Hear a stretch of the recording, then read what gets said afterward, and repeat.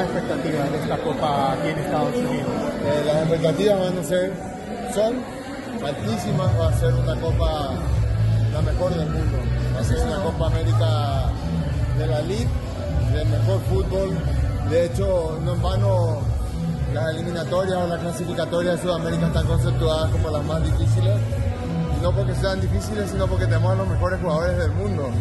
Y eso hace que sea muy competitivo y, eso traído a este, a este continente, en particular a este país, con seis invitados, va a ser una Copa América del mundo. Realmente no pregunto. ¿Qué se espera del sorteo? El sorteo se espera que sea tan emocionante y de hecho para mí en particular el sorteo, así como genera expectativa, también ya es el inicio verdadero del campeonato. Bueno, con CACAF, este, lamentablemente Sudamérica tiene solo 10 países, porque si, tuviéramos más, hubiera sido más lindo tener una Copa de 24 con, con CACAF.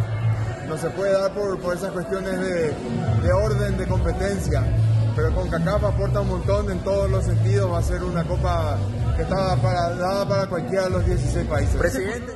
En el pasado todo lo que hicimos juntos fue exitoso, veremos qué tal esta vuelta y de ahí en adelante seguiremos hablando con Víctor, con quien además de, ser un colega y un gran profesional, es un gran amigo. Presidente, ¿se, ¿se, imaginaba un inicio de eliminatorias así, tan emocionante, tan parejo?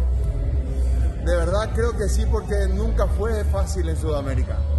Este, y nunca estuvo nada dicho, así que hoy en día tampoco está nada dicho a pesar de, que, se han jugado un montón, ya hubiéramos creído que eventualmente hubieran tomado distancia algunos países y ahí están, todos apretados, así que veremos qué pasa en, el próximo año. ¿Podría participar Inter Miami, Lionel Messi? ¿Qué nos puede decir sobre eso? Y ojalá que sí, ¿qué le puedo decir eso? Ojalá que sí, estamos trabajando con, con CACAF para tener un campeonato de clubes este, y eh, bueno, en adelante ahí tiene que haber méritos deportivos, pero bueno, hay cosas que llevan un poco más de tiempo. ¿Sería distinto de la Libertadores?